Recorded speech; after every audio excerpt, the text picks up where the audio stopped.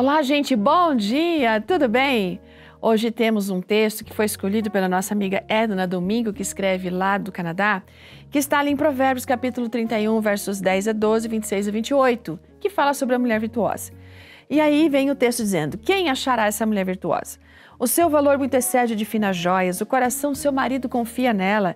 Ela lhe faz bem e não mal todos os dias da sua vida. Ela fala com sabedoria e a instrução da bondade está na sua língua.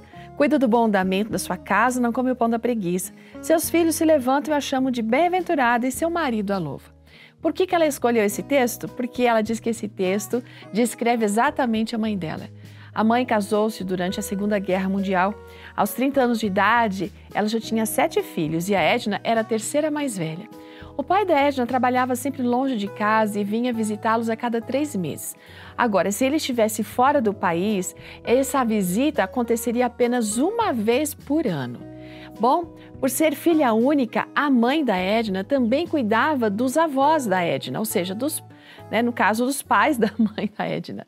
E crescer assim em um lindo vilarejo rural influenciou muito os valores que a Edna adquiriu para sua vida e ela desenvolveu uma fé em Deus muito especial. Ela diz que eles não precisavam de transporte e caminhavam para onde eles queriam naquela localidade. Na terceira série, numa certa manhã, a professora disse o seguinte: Peguem seus livros e comecem a ler o capítulo 3, enquanto vou conversar com outra professora sobre suas competições de leitura. E a Edna obedeceu. Mas alguns minutos depois de ela ter saído, uma aluna começou a conversar. E ela ficou incomodada, né? E pediu que ela, aquela amiga, parasse de conversar e que se sentasse para ler. Mas ela ficou cada vez mais inconveniente com todo mundo. A ideia da desobediência era uma coisa que irritava o coração da Edna. Então, lá o que ela fez? Ela pegou o livro que ela estava lendo e bateu na cabeça daquela menina. Gente, virou uma comoção, né? A professora logo voltou para a sala de aula e perguntou: Mas o que aconteceu por aqui? A Edna contou o que tinha feito. Ela não podia fazer outra coisa além de saber fazer o quê? Enviar a Edna para casa. A Edna chorava enquanto caminhava, sentindo-se como se jamais pudesse voltar para a escola no dia seguinte. Mas assim que ela se aproximou de casa, sua mãe veio correndo para ver o que estava acontecendo, né? Aí ela disse o que havia acontecido e, sem dizer nada, a mãe da Edna apenas pegou ela pela mão e a levou de volta para a escola. Aí a mãe conversou com a professora e, em resultado, foi permitido que ela voltasse para a sala de aula. Ela disse que até hoje ela agradece a Deus pela mãe dela, que hoje tem 88, 89 anos de idade.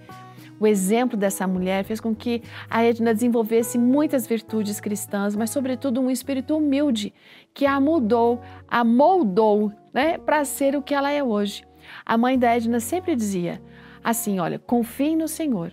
Quando as pessoas falarem mal de você, lembre-se sempre de que é o Senhor que vê a sua tristeza, vê a sua lágrima e todos os desafios que você enfrenta. E Ele é por você. Então, com esta herança, ela, ela considera que a mãe dela é uma mulher abençoada. E ela diz: Bendito seja o nome do Senhor por todas as mães que Ele concede, né? E, e, e mães que têm essa virtude de força, de sabedoria para não somente é, cuidar, mas formar, moldar e ensinar as mentes infantis a serem pessoas ah, que sejam pessoas com caráter e que aprendam a amar e a viver é, para Deus. Que você possa ser um pai sábio e uma mãe sábia. Um ótimo dia, até amanhã.